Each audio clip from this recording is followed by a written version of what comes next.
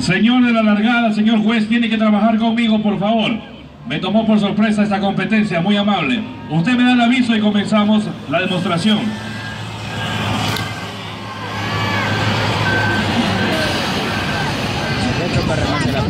Ok, bueno, un segundito otra vez. Ok, termina esta prueba y vamos a darle las especificaciones técnicas tanto para los choferes como, como para quienes están en los graderíos. Cómo, cómo funciona